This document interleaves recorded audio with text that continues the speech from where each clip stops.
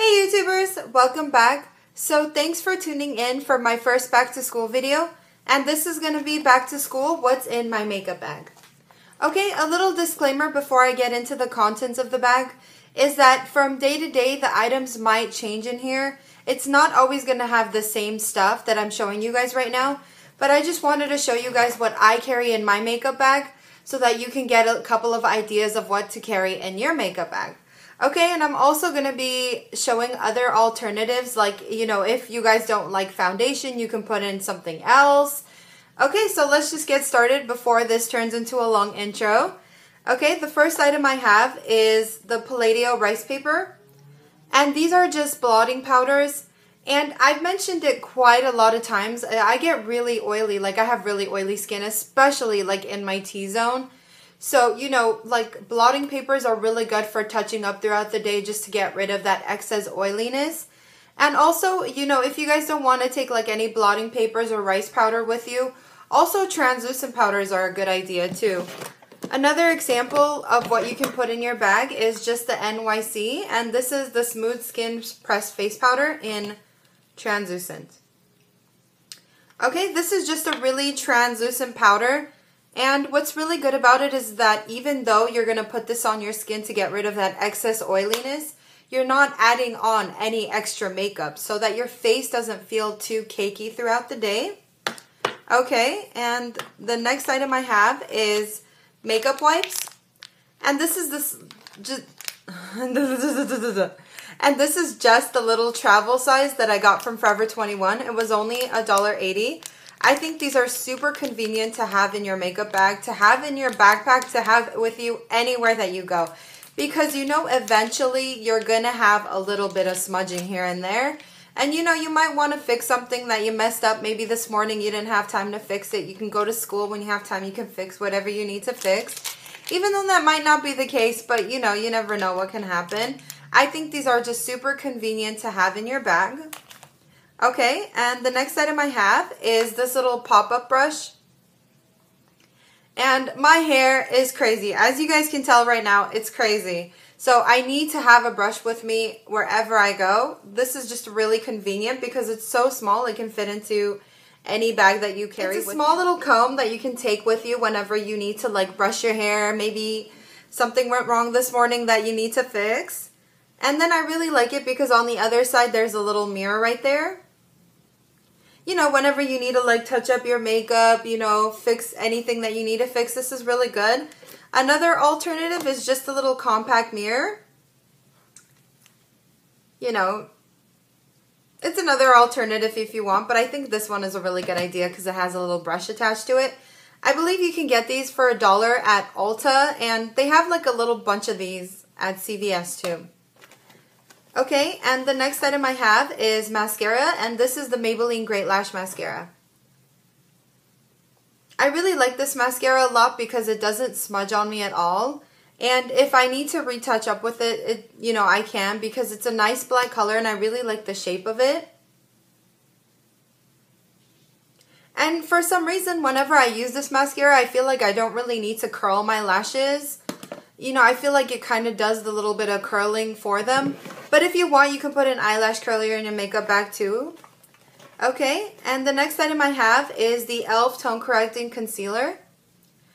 I really like this concealer a lot. I think this is so convenient to have in your makeup bag because if you have any bit of like, if your, you know, if your foundation moves around a little bit and you want to touch up any blemish that's peeking through, I think this is a really good idea. Another like concealer slash item that I have in here is some kind of Gorgeous by Benefit. And basically what this is is just the foundation faker. So if you don't want to carry like big foundations in here, if you don't want to put a foundation in your bag, if you feel like that would take up too much space, I think something like this is really convenient to have. Just in case you need to touch up or anything like that. Okay, and the next item I have is the Revlon Lip Butter, and this one is in Candy Apple. Now the colors that I put in my makeup bag can change from day to day depending on what I wear that morning when I do my makeup. But I just like to have an extra lipstick in here just in case I need to touch up. Because there are some days when I'm going to be in school. Oh, I'm going to college, by the way, in case you guys wanted to know. But there are going to be some days when I'll have, like, when I'll be at school for about eight hours. So I know I'm going to need to touch up because I'm going to be probably eating, I'm going to be drinking water, you know, not drinking anything else, but. okay, and, uh, or another alternative that I have is the NYX Soft Matte Lip Cream in Monte Carlo. Something like the soft matte lip cream or even a lip stain is a good alternative to have because this one I feel like you don't really need to touch up with. I think this one is a really good idea because I feel like this is more like a stain. It doesn't really come off as quickly as like the Revlon lip butter does because that one has a little bit of a glossy texture so it might come off a little bit easier. But if you want something like this, this is, you know, you can put it in your bag too. Or another alternative that I have are the Maybelline Baby Lips. And the one I have is in Quenched. And then I have, which one is this one? Grapevine. I put Quenched in here in case, you know, you don't want to wear any lipstick that day. You just want your lips to be really moisturized. I think this is really convenient to have. Or if you want a little bit of color, but you don't want something like the, the matte or the Revlon lip butter, which does have quite a bit of color, you can use this.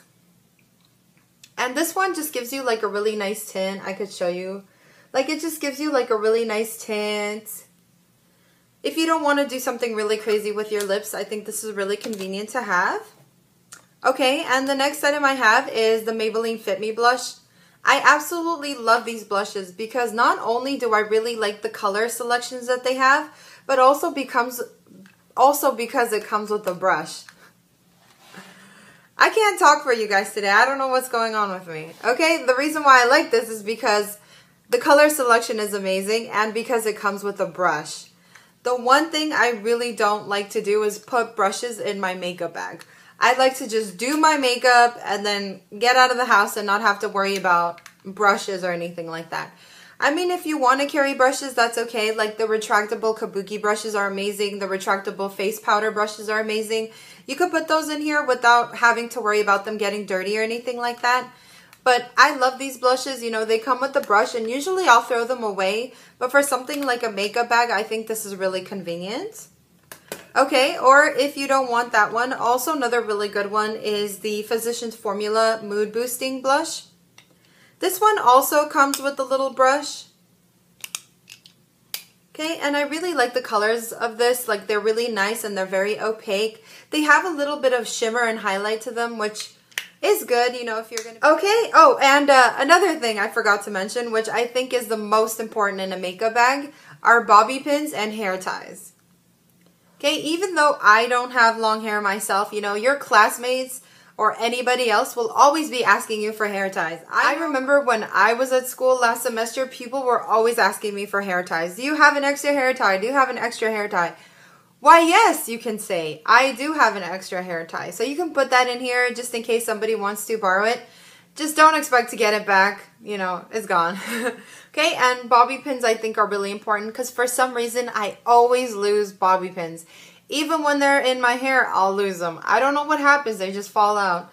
And especially because I don't have gym this semester, but I know a lot of high schoolers have gym classes. I think these are really convenient to have because you know, I think they're just really convenient to have.